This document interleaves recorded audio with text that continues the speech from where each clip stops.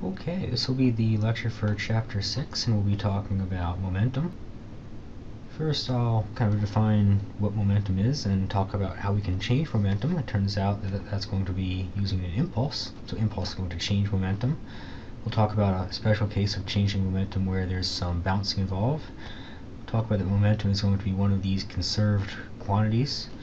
We'll talk about how that impacts collisions and we'll talk about two types of collisions. We're going to talk about elastic collisions and we're going to talk about inelastic collisions and I'll just very briefly mention some more complicated collisions. Now what is momentum? Momentum is a property of moving things and there's actually analogies in for example you know sports or politics or something like that where they say you know one team has momentum what that kind of means is you know they're moving and they want to keep on moving so really it's kind of like inertia in motion in equation form, momentum is kind of given that symbol p, and it's going to be equal to mass multiplied by velocity. So for example, suppose I had a car with a mass of 1,000 kilograms and a speed of 20 meters per second, then its momentum is going to be 1,000 kilograms multiplied by 20 meters per second. So it's going to be 20,000 with a unit of kilogram meter per second. So if you ever see something with a unit of kilogram meter per second, you know you're talking about a momentum. And one thing that's you know we kind of have to pay attention to is, is velocity is a vector, momentum is also a vector. If I have something that is moving in this direction, and I'm going to call this the positive side, then the velocity would be positive and the momentum would be negative. If I had an object moving in this direction, and I called this you know the negative side of the slide, then my momentum would be negative. And the positive and negatives are going to be really important in this chapter. So let's just kind of you know conceptually think about momentum for a second. Um, consider we had a moving boulder compared to a small stone moving at the same speed. Which one has more momentum? I would expect it to be the boulder. Why? Because momentum is going to be equal to mass times velocity, and the moving boulder is far, far more massive for the same amount of speed we had a fast boulder versus a slow boulder, you know, both, both, both boulders were the same amount of speed, the faster boulder, boulder is going to have more momentum because this number right here is going to be larger. And a boulder at rest, well, the speed is equal to zero, and so the momentum is also equal to zero kilogram meter per second. So just take a second and you know, think about the answer to this one if you double your velocity, so you're going from 30 to 60, then you would probably expect to double your momentum simply because momentum is going to be equal to mass multiplied by velocity. And if we go ahead and we double this guy, then I would expect that guy to double as well. So this guy goes up, that guy also goes up. Now, how do we change our momentum? It turns out we change our momentum using an impulse, and an impulse is going to be defined as a change in momentum, where that little triangle right there just kind of means a change. You could also kind of write that as, you know, momentum final minus momentum initial, if you will. And another definition of impulse is going to be equal to a, force multiplied by how long it acts for. Now, kind of some practical applications for this would be, you can check out the Mythbusters dumpster dive, but let's talk about crumple zones in cars.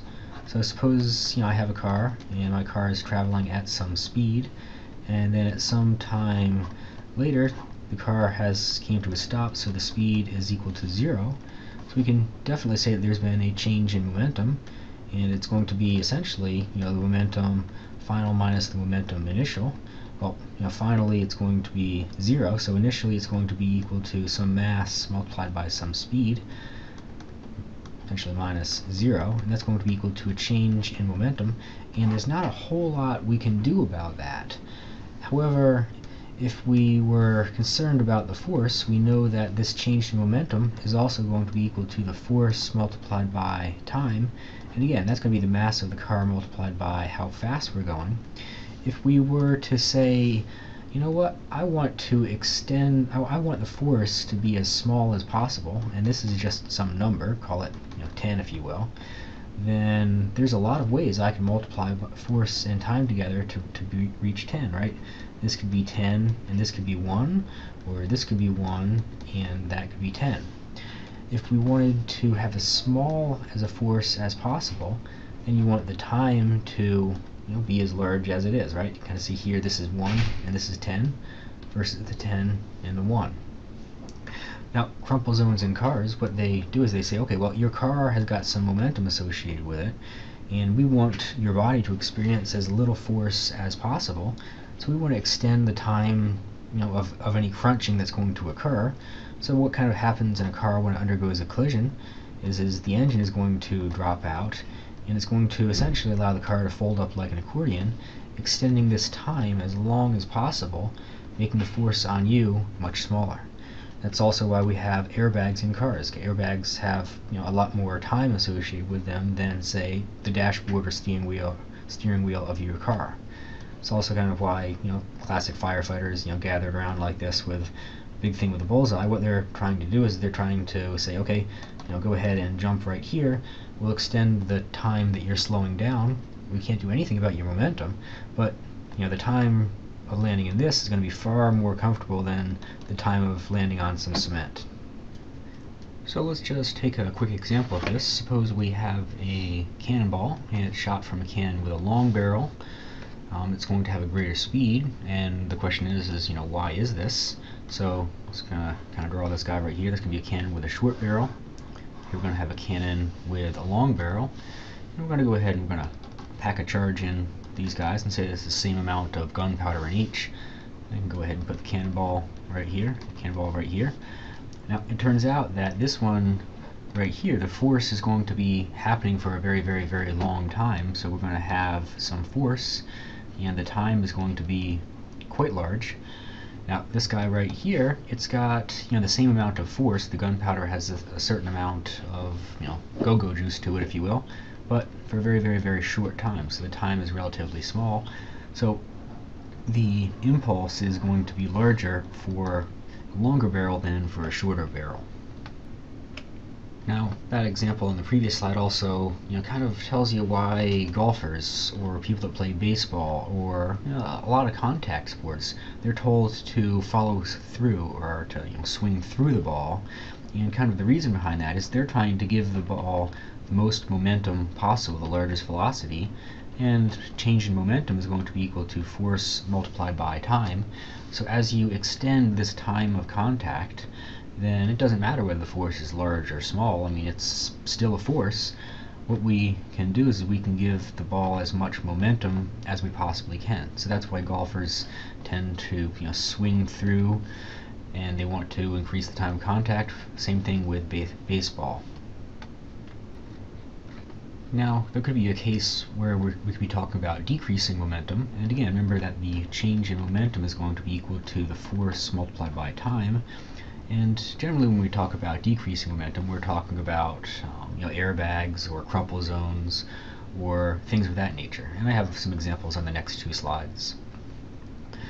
So if we were to consider, you know, a car or a truck that is, you know, out of, out of control, then, you know, what momentum says is, you know, it's the change in momentum is going to be equal to the force multiplied by the time, and that car or truck has got some momentum, and it's definitely going to depend on the mass and the speed, but there's not a whole lot we can do about that. Now, if you consider, you know, this truck right here, and it hits a haystack, then we're applying that force over a very long time. So you can kind of see how time is much larger and force is going to be much smaller. If we have the same truck with the same amount of momentum, the same mass and velocity, and he hits just a concrete wall, then the time of contact is relatively large, or small, so the force is going to be relatively large. So let's just kind of you know, do this once again with numbers. Suppose the mass times the velocity is going to be 5 kilograms meter per second. And there's a lot of ways we can multiply these or multiply the force and the time together in order to get that. In this case right here we can say that the time might be equal to 1 so the force is equal to 5 in this case down here we might say that the force is equal to 5 and the time is equal to 1 so kind of see shorter time longer time larger force smaller force just some more examples of decreasing momentum. So if you're you know, jumping from a large distance, then it's better to bend your knees when your feet make contact with the ground rather than to straight leg it. The reason for that is we're kind of extending the time and reducing the force on you. You know, in boxing uh, and with life, you know, sometimes you just have to roll with the punches. If you consider this boxer right here, and he moves backwards as this punch is coming towards him, then what he's doing is he's, he's extending the time of contact and essentially decreasing the amount of force that he has. If the boxer were to you know roll into the punch rather than rolling with the punch, so the boxer's going this way, the punch is coming this way, then the time of contact is going to be relatively short, so the force is going to be relatively large, and I don't know about you, but that doesn't sound like fun to me. So just take a second and think about this. We have an impulse where the force acts for twice as long, then what happens to the impulse? Well, if you think about it, you know, impulse is going to be equal to the force multiplied by the time, and we're told that the you know, force state kind of stays the same, but the time is twice as long. So if we go ahead and we make this guy two times as much, I would expect the impulse to go up also by two times as much, so it should be doubled. Now something that's kind of interesting is, is, is that if objects bounce, the impulse tends to be greater. Now remember that impulse is going to be defined as the change in momentum, and if you think about this guy right here, he's going at 30 meters per second and he has a mass of 10 kilograms, then we could kind of say, well, what happens if he were just to totally stop? Just like that, then the change in momentum is going to be the mass times velocity final minus the mass times the velocity initial. And the final is going to be equal to zero. And the initial is simply going to be equal to, to his mass which is going to be 10 kilograms multiplied by 30 meters per second. And there is a little negative sign right there. We'll talk about that in a little bit. And so we're left with a change in momentum of negative 300 kilogram meter per second now what, what would happen if this guy were to bounce? So maybe if rather than he changed his momentum to be equal to zero, but he maybe you know, hits this solid wall and then is kind of moving in that direction with, with a speed of 30 meters per second, then what would kind of happen is, is the change in momentum would now still be his mass times velocity final minus his mass times velocity initial, but now his speed is going to be in what I would call the negative direction. We're calling this direction positive and that direction negative. So his mass times velocity final would actually be 10 multiplied by negative 30 meters per second. And that's going to be minus his mass times velocity initial, which is going to be equal to 10 times 30 meters per second. And what we're kind of left with is we're left with a change in momentum that's equal to negative 600 kilograms meters per second. And all the negative sign means is it went from being in this direction to being in this direction right here. But the number here this is this is negative 600 and that's a lot larger than the negative 300 we got when the fellow didn't bounce. So you could also kind of think about you know catching a falling flower pot with your hands you know it takes some momentum if we throw the pot back up again then that's extra impulse and so we're kind of doubling the impulse when something bounces. Now, practical applications of this is you think about like a mill wheel or something like that. If we've got some water kind of falling down into it, if we could catch the water, that would be great. It's going to go ahead and make this wall turn. But if we were, if we could make the water come down and then splash back out, that's going to essentially um, leave us with a larger impulse and a larger force so the wheel is going to turn faster. And believe it or not, they actually did know this when they went ahead and they built a lot of the old mills.